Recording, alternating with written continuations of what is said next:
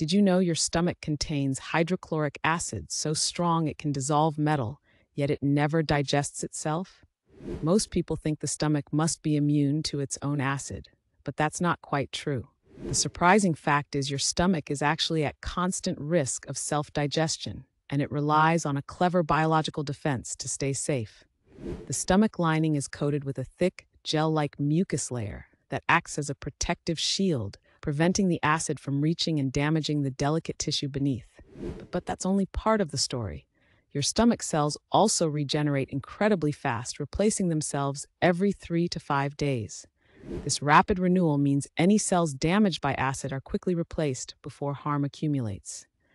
When this protective system breaks down, ulcers can form, and the stomach can literally start digesting itself.